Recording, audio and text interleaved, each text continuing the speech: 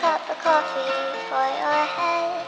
They'll get you up and going out of bed. Yeah, I don't wanna fall asleep, I don't wanna pass away. I've been thinking of our future, cause I'll never see those days. I don't know why this has happened, but I probably deserve it. I tried to do my best, but you know that I'm not perfect. I've been praying for forgiveness.